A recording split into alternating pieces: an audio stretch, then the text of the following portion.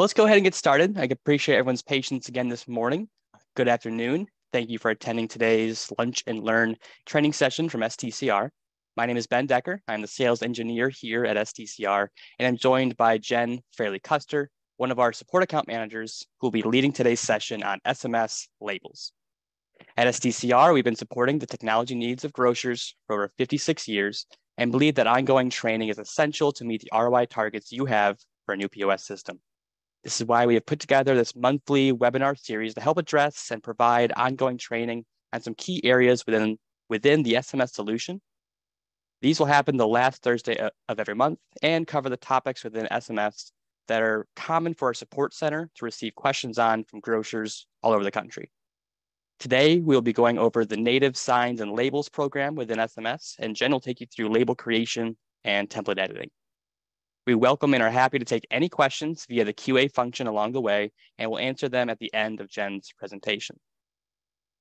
At STCR, we are dedicated to providing quality training and support to all of our customers and hope this serves as a great resource for you and your staff as a reference point moving forward, as we want to empower you to take full advantage of SMS and all that it has to offer to your business.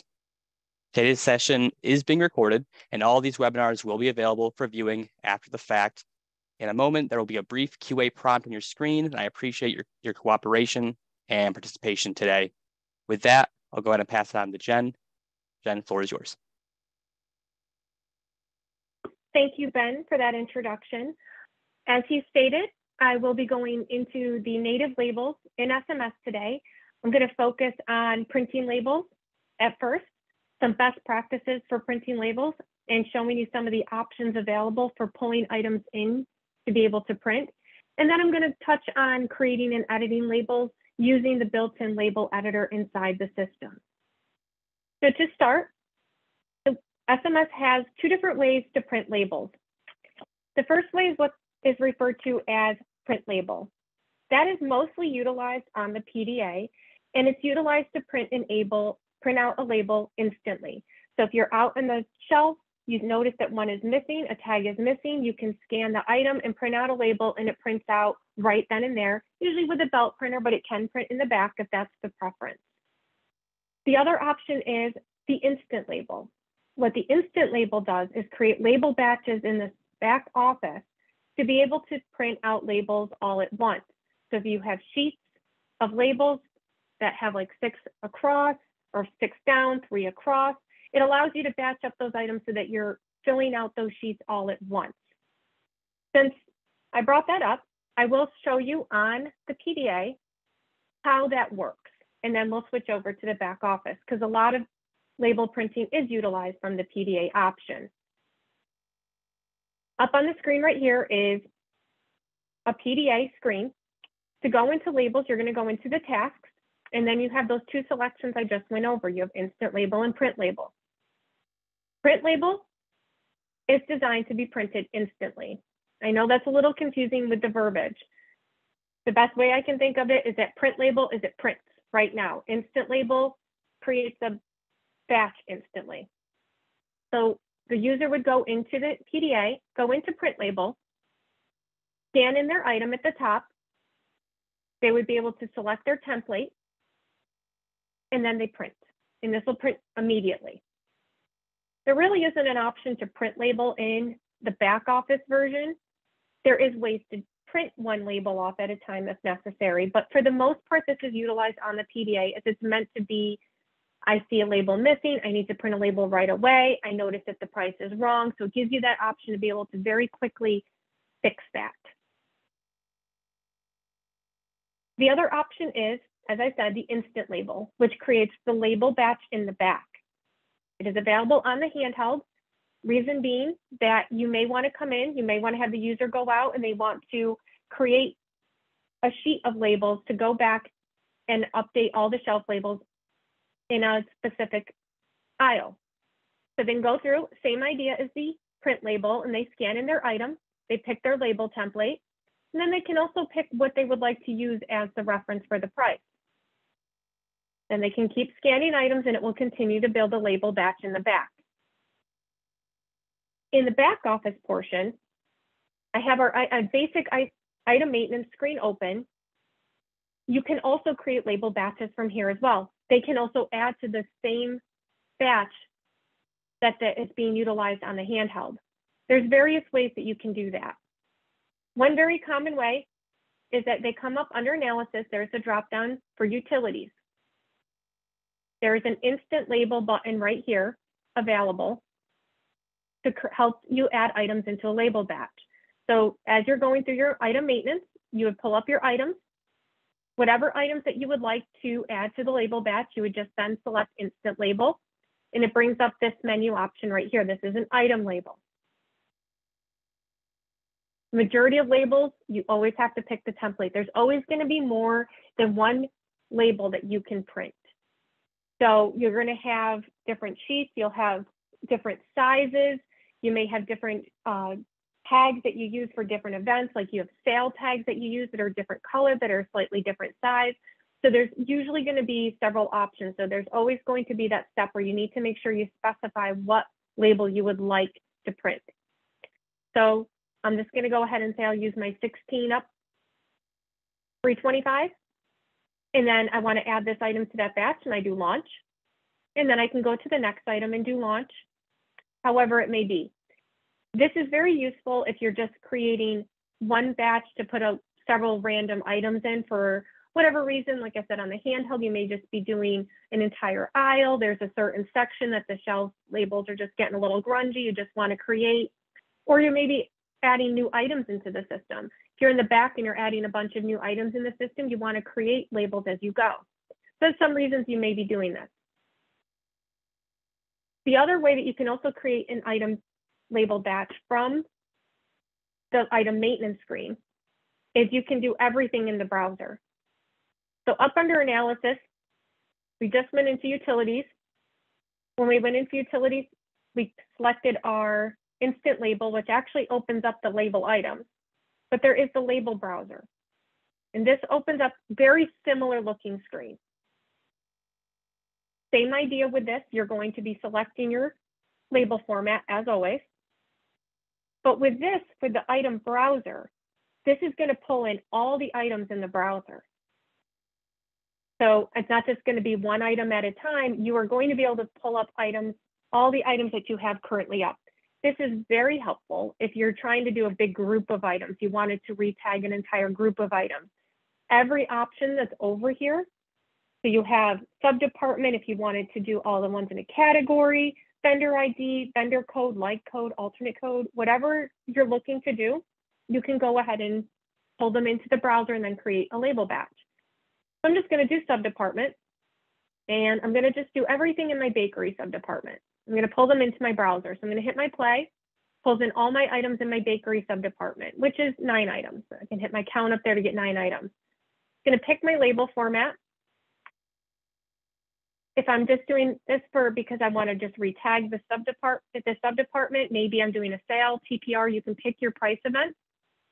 You can also use price of you can also use active or next price. And then you just do launch to add that into or add it into or create a new label batch depending on if you have a new label format. I'm just going to go ahead hit launch. It always prompts you on the item browser. You notice I get this prompt with the item browser, but not the item labels. It's because it's making sure you want to add all the items in the browser. I only have nine items in the sub-department. That's not a lot, but the system is always going to prompt because you could have your entire item file up in there. So it could be like 200,000 items, whatever they may be. So it's always just going to give you that one, are you sure you meant to do this? And you go ahead and hit OK. Yes, I did. Before I switch over to the labels and show you where that print label goes, I also wanted to bring up that there is an additional table that can be utilized. Uh, right here, you notice that there's use template from shelf. There is a shelf table that can be added to your items. What this does is that you can come down here and you can specify for on each item. So you can come down and specify on each item a shelf ID, you can also specify a label template. If there is a specific label template you always want to use with items, you can come into those items and you can pick that label template and save it here. So that way, that way, if I'm coming to print labels, I can select to use the template from shelf. And it will always print this label template. This is a common practice I've seen with produce. There's usually small tags that they always want to use for produce. They don't want to accidentally use a bigger tag or anything like that. So that way it will always pull from in here. If you wanted to do a special tag, you can certainly do that. You can always not check use template from shelf and go ahead and print that, but it is nice to have that option that you can just make sure that when you print this item, if they select the shelf, uh, use template from shelf, it will print that label template. This is going to come up a little bit too when we go into the label, some other ways to pull it in. So I just want to make sure I went over that. If you are wanting to use this, this is a drop down under your item maintenance and you just do shelf and that will open up that window so you can start specifying label templates on each individual item. So that's the item maintenance portion of being able to create a label batch. So now we can go into our labels and we can look at some other ways you can create label batches. So if you click on the labels underneath extract label, there's some different ways that you can come in and pull in items to create label batches. We'll go through first the item label. You can create label batches based on price events. This is if a price was a price change is scheduled up to a specific date, you can create a label batch. So you can come in, pick your date that the price prices are scheduled to change on. Select if you wanted to have all the items that are not have not for sale or do not have not for sale or just all items. And you can specify where you want your next price source to come from. So if these prices are going to change and be a TPR or change to be a sale price, you can specify that. You can also do on active price. So active price being the active price right here, that is the active price of the item. What date was that updated? So you can do a label on active price for a particular day. So you can go create a label batch for all the items that the price was changed on a particular date. This is useful if you have a sale or TPR that kicked off maybe a few days ago. The batch was already executed and you need to go back and you need to go back and create labels for them. The, on the flip side of that is label on next price. So if you're doing item price changes on the next price, you can come in and you can specify that I want if this price is going to take effect on this specific date. You can also create them on the next price. With all of these that I'm going through, it's always going to be you have to pick your template and then based on the criteria from what we had before, you can then come in and do what date. So this is activated on date or active on date. Pick your price source and then if you want it not for sale, down here, you also always have the selection for if you have a label format in the location or if you wanted to have a quantity set in that same location. And if you want to print more than one for each one. Some other ones that you can also do, label on all items to be deployed. If you are familiar with SMS, you have to make the changes in the back office when you're doing any change to description, to the point of sale, to the price. You make the change in the back office and to push it down to the lane, you'll need to run the deploy changes. It could be tedious if you're going through and making a lot of changes on items. Maybe you're changing a bunch of descriptions, the brand's changing, they, whatever it may be. It can be a little tedious to go through and as you're making the change, remember to go and hit, oh, I have to add this to label batch, have to add this to label batch as you go so that way you can print out with all the new nice descriptions at the end. Instead, you can hold off on running the deploy change and you can run a label batch and create a label batch on any items waiting to be deployed down to the lanes. However, it must be run. You must print the labels before the deploy change runs. So if you hit deploy change, it's too late. You can't get that back. You can go print the label still, of course. You have to go manually find the label and print it. But this option would not be available. So you would just come in, always pick your template, pick the date and time of the deploy. So it still hasn't run yet, your price source, If you wanted to sort it by sub-department, anything like that, your label format's down here. You can also, instead of going through and doing those options, well, not, uh, not instead of, I apologize, you can come down here and with that location table, you can only print labels with the location. Same thing with the deploy changes, but instead of deploy changes on all items, it'll just do deploy the ones that are waiting to be deployed with ones that have a specific location. There's some grouping that you can also pull them in with. You can do any item that has any, I'm sorry, all items in a subdepartment, all items in category, all items in family code, report code, or vendor, and specify those. Similar to the idea with the item browser up here where I pulled up subdepartment eight and I did the item browser, you can come down here and just do label by subdepartment and pick that subdepartment or any of the other ones that I went through. Category, family code, report code, vendor code. You come in, you pick your vendor code and it will pull in all the items that have that vendor assigned to them. With that location table right there, you, we also have that as an option too, label by location. It'll pull in by aisle or all the items that have a location specified with a label format. A big one that I get, we get asked a lot is by batch. You can create labels on a future batch. There is a little, um, we'll say some certain criteria that must be met. It's only on in-store price batch future price batch, sale batch, and TPR batch. What does that mean? If you're if you're familiar, the price table has a regular price field, TPR field, sale field, and in-store field. So the batches line up with those. So you can have an in-store price batch, the prices go to this field. Sale batch, they go to this field. TPR, they go here. Or if you're changing the regular price, that's the future price batch, it goes to your regular price. The batches need to be an in-store, so they need to have not been executed yet. So as long as they're not executed and they meet one of these criteria, so it's not a cost batch, you can come and create a label batch based off this. So I do have a sales batch, so I'm just gonna go in and show you how that works. So I'm gonna go and label on sale batch. I'm gonna pick my label format. I don't remember my batch number. You could remember your batch number, but if you don't, you can actually come in here and double click and it's going to pull up any batches that meet that criteria. So it needs to be an in-store batch or, and I'm sorry, and it needs to be a sales batch. So I go ahead, click OK. I want it to be, I'm going to make my sales. Actually, since it's a sale, we'll use sale and I'm going to launch and it's going to create me item label batch.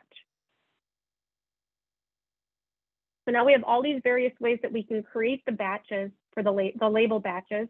Now we need to print them. So I can come down underneath execute label and I can print the label. Right here is where they're all created. It's going to be listed in the label format type and then by the operator. If you batch the labels, it's not going to have an operator number. So I just batched that label for the sales. It's not going to have an operator number. From here, you can view all the items in. You can come and view. This is all the items in the batch. You can edit the labels in the batch. So if you need to change a price, change a descriptor, delete, you can do that from here. You can delete the batch. You made it by accident. You pull in all, all the items in your item file into the batch. And then, of course, you can print. When you're printing, it pulls up this screen. First, you need to select your printer name. So whatever printer has your labels in it, you're going to go ahead and do that. I'm going to print to my PDF for mine. I want to use my base settings for labels since I'm printing labels.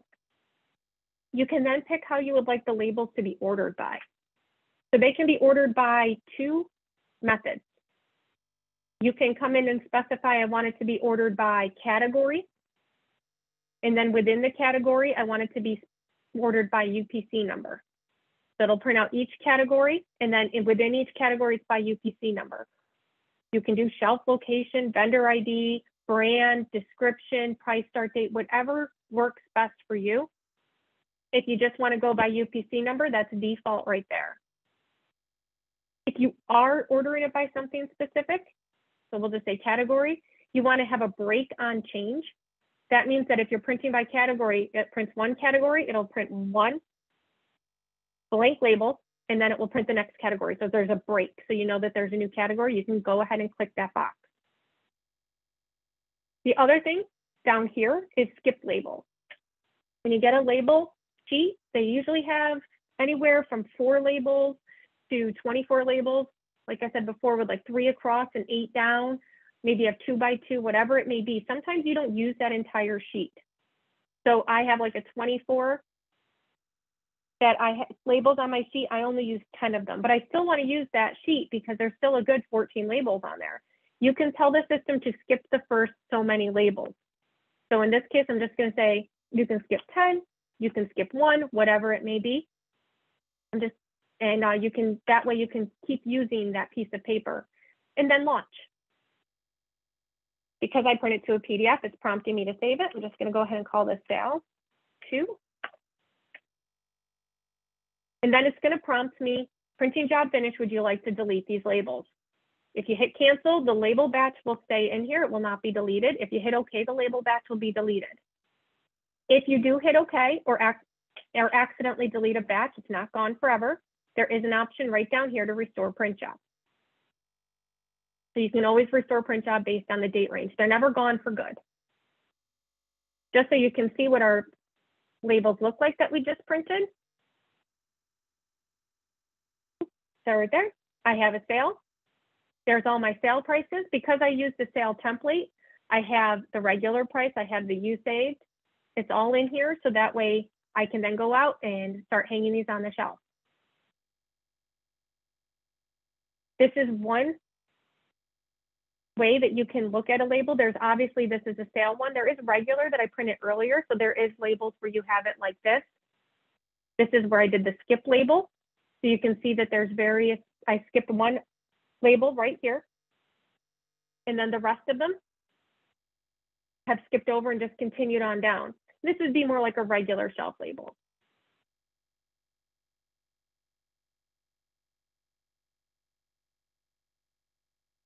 The last part I wanted to touch on is editing the label. So we don't expect you to very often be able to go in and edit labels, but if you are comfortable with a little bit of HTML editing, there is the ability that you can come in and edit labels. To start with, I always say to back up the labels first, because once you make a change to a label, you, you may need to change back to what it was before. Easiest way to back up labels before you edit a label is if you go into your Storeman Office directory, all your label templates are kept in the LBZ folder. Just make a copy of this folder. This contains all your label templates, so that way if you make a change to any of your labels, you can easily go back to the original label. I normally do is I just come in here, do a quick copy, either paste it right here, so it just does a LBZ copy, or I paste it in a folder or on the desktop, whatever it may be. And that way, if I make a change and it completely changes the whole label and I can't get it to revert back, I have a backup to go back to. Now that I've backed it up, I can right underneath restore print job is your edit label. This is going to be, like I said, a very basic overview, just to give you an idea of how you can come in here and make the changes. Up under file, you're going to go into open and you're going to pick what label you would like to edit. I'm just going to go into our regular 16 up, always, always a safe one since I have a label right here of the same exact one, that way we can kind of run a compare. This looks a little messy compared to what you get when you print out a label. There is some overlap. Right here with the pricing, we always have to do a little overlap if they have items that are dollar and change, or if it's just change only, we overlap that on there. So if it's just change, it shows the big numbers and the small cent sign, and underneath that I have the dollars. So using this example, this was the label that we printed. So you can see I had 88 cents and then 279. So they are overlapping. So the system knows whichever one is being utilized, it'll pull that to the forefront. Inside this main template is where we have a lot of very specific requirements that need to be met for the labels. You have a height requirement. This is how high the label is. So that is very exact. You can see it's 1.19.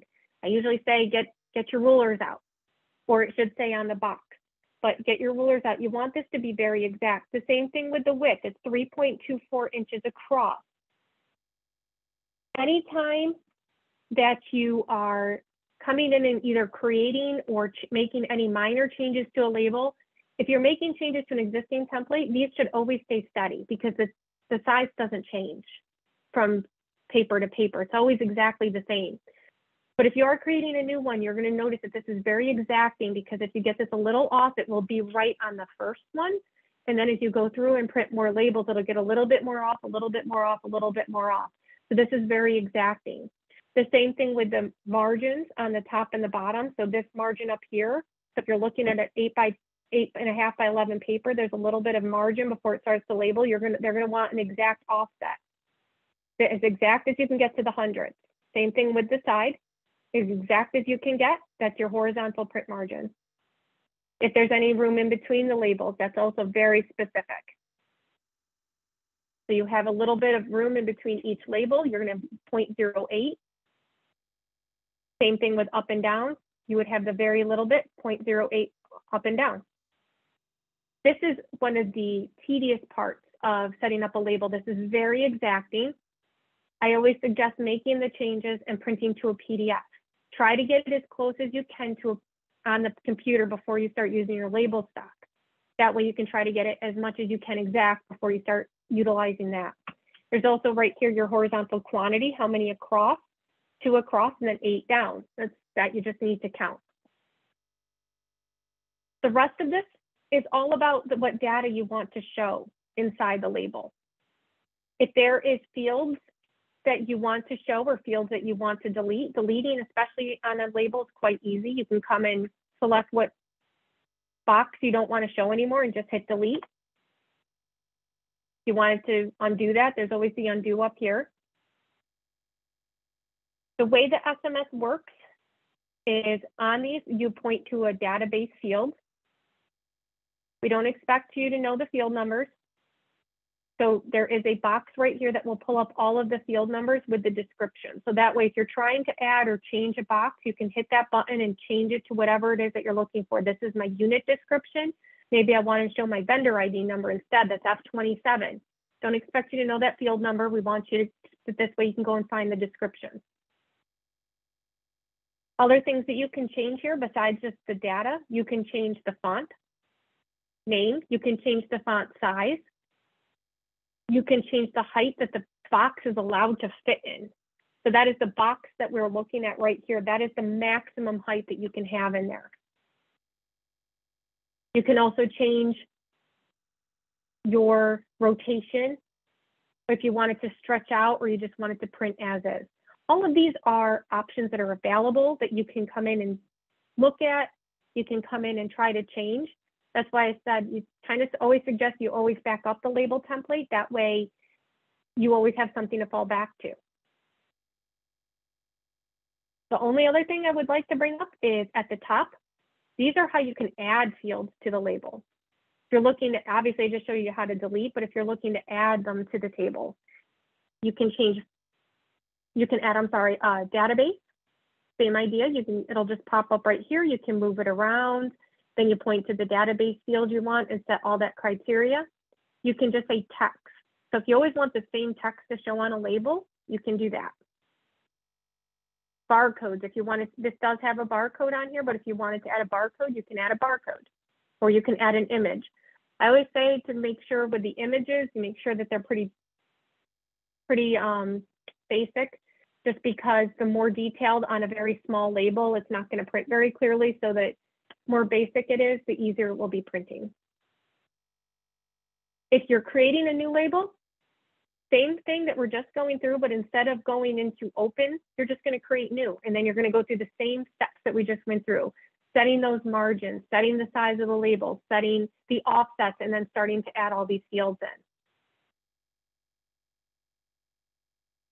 As I said, this was meant to be a high level overview of label editing. So if it's something you're interested in, this is certainly something we would have an in-depth conversation or training session with you about, and you can go in and go into really details and show you a lot more. But for now, I'm going to turn it back over to Ben to see if there's any questions. Awesome. Jen, great job. I think you covered a lot of important uh, details there within the label editors within SMS. I uh, do have a, few questions that came through. Uh, the first one is, uh, how do you change the size of the price numbers within that label editor? All right, let me go back in there. I should have kept it open. um, so, yep, so right here, so I'll just pick my, my, uh, my price so you can see that with the layers of the price. My font size is right here. So 35, so I can go ahead and bump this up to 40 or whatever font size I want to bump that up to. If you're looking to bump it up though, you're going to want to probably make the box a little bit bigger. You can either do that by clicking and dragging, or you can do edit the height, and then you can go back and see how it edited up to 38. So you need to make sure the box can hold the font size, and then you can bump that font size up to whatever you need to bump it up to. Great. Thanks, Jen. Uh, another question we had here is that our wholesaler sends us all of our sale prices can those sale items be automatically put into a label batch for us to print out later? So depending on how the wholesaler is sending them down, um, if you are batching the changes from the wholesaler, which is a setting, you can batch them so that way they're sitting in the in-store batch. You can come in and print the label from the batch right here. If you're not batching the changes, that's where when we were going through the item labels with the label on active price. So you can come through and you can pick the date that those prices took effect. So whatever date the wholesaler came through with the price changes, you can come and set that date and you can create a label batch based off of that. And if it's a regular price, sale price, TPR, in-store price, so that way you can just do that. So it depends on how your system is set up. It's unfortunately you cannot set it to print just automatically, so it creates it automatically when the changes come down but you can come in and utilize either of these methods to create labels based off of those. Awesome, great. Hopefully that answers that question. Uh, if there are any more questions, continue to type them into the QA function there. Another one that came through, Jen, is when editing a label, can you use your base unit of measure to CM and not pounds? So can you change that unit of measure uh, within those templates? Yes, you can. So if you come into, just go in, um, if you wanted to change like the weight units right here, you can change that. If you're wanting to change it, I'm, I'm you said pounds to centimeters, I'm not, but you can change the base weight units down here, but you can also change the inches to centimeters. Sorry, I'm not sure which ones you're going with pounds to centimeters, so, but you can change both of those. Little ruler right there, imperial to metric. And then down here is really the kilograms to Wonderful. pounds. Okay, I hope hopefully that answers uh, your question. If you need more clarification on that, please do not hesitate to, you know, type in. Uh, another one that did come in here is if I don't use SMS today and I decide to install SMS, can I continue to use my current label software or do I have to use uh, the integrated one with SMS? You can continue to use your own software. Um, we have the ability to talk to a lot of the software, such as Bartender, we can send that over. So whatever, we could talk to you, discuss what you're currently using, and you can definitely still utilize that system. Uh, it just wouldn't be the built-in system that I just went over. Okay, so then a follow-up question from that. Um, we use Bartender uh, version 7 right now, have an extensive label database how easy would it be for us to import templates to the new database? With Bartender um, specifically, we can take the label templates, bring them over to SMS. There's a little bit of modification we have to go in and do, but it's very simple. So it would not be difficult. Wonderful. And there was another question which I can I can take. Uh, correct, this session is being recorded and we'll be sending out the link to review these videos uh, anytime in the future uh, for future reference as well. Thank you for your question. Okay. Um, I did also launch a poll as well. I see a lot of you are already answering it, um, just if you're currently using SMS today. So thank you for participating in that poll. Yes, we appreciate that. Okay, so so we had another question here come through, Jen. Um, one of our attendees said that they had some issues with uh, 32 up labels in one column uh, moves to the right. Uh, where can that be edited so it only affects the column on the far right?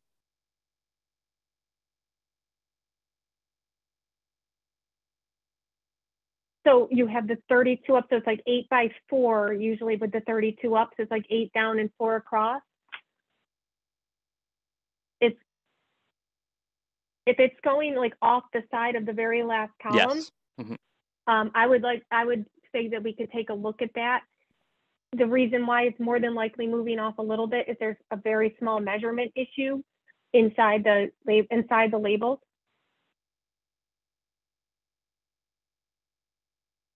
What I would suggest is opening up a ticket either with the help desk or you can email me directly and I can pull that template up and we can go over that. Uh, it's usually, generally speaking, anytime that you have that, it's a very small margin issue that's just pushing it off a little bit to the side. Uh, it's usually the horizontal offset or the horizontal print margin or the height.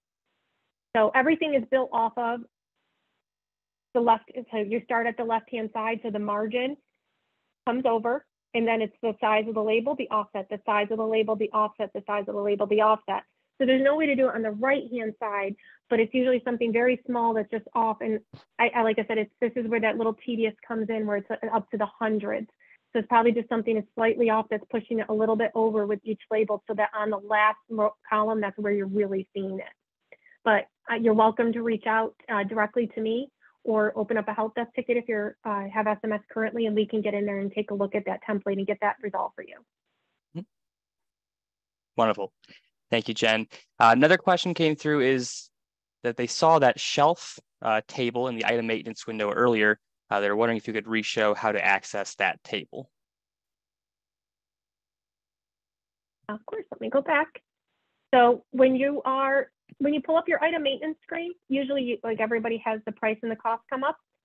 Up underneath the drop down with items, the fifth selection down is shelf. So you go ahead and click on that, it'll open up and just move it to wherever works for you to move it to.